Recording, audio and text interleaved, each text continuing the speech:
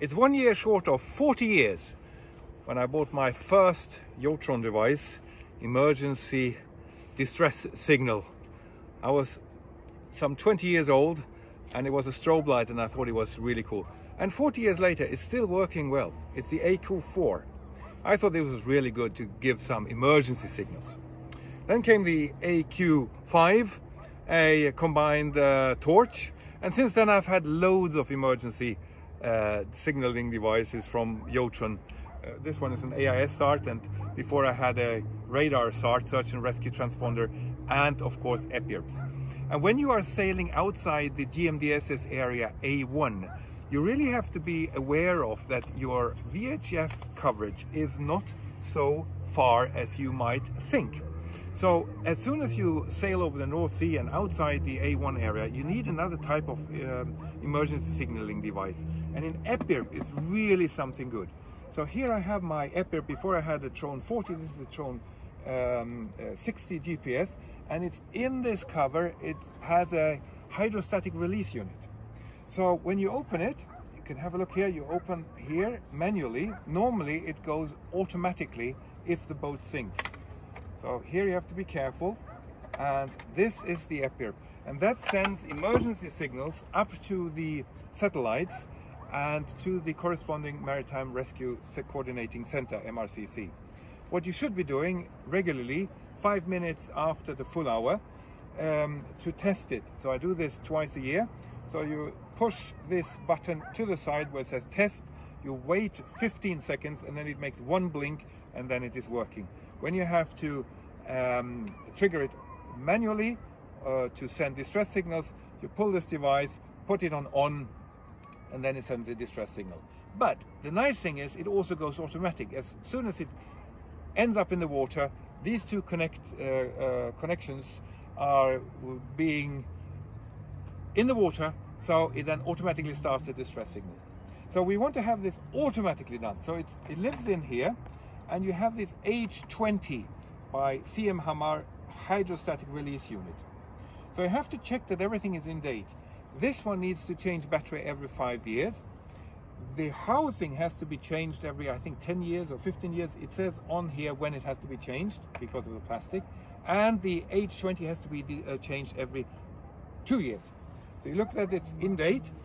And the idea with the H20 is that it has a knife inside and it cuts this bolt and then a spring pops up. So we can have a look here how this looks.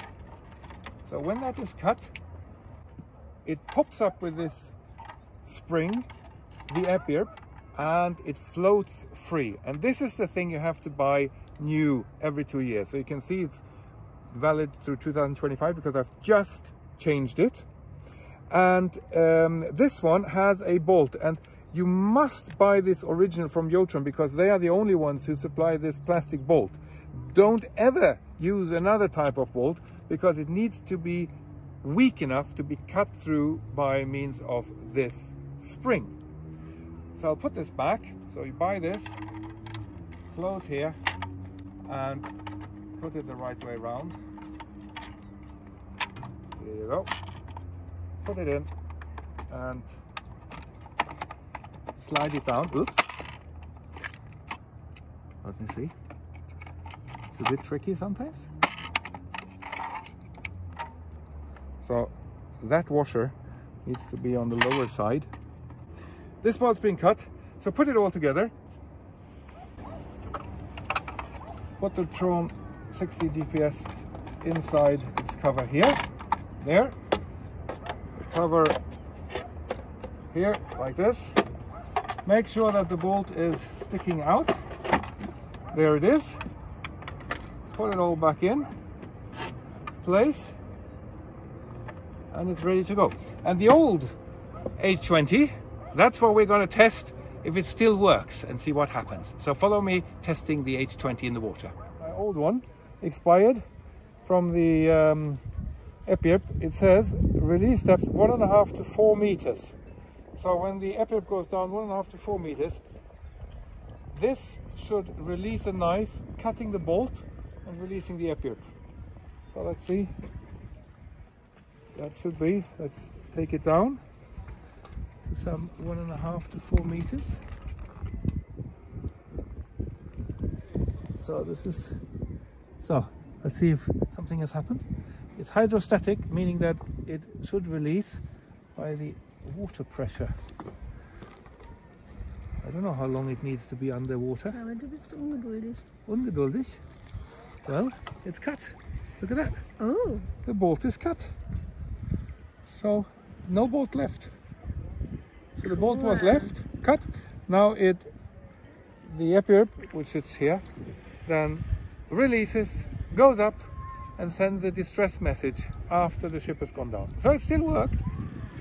That's good.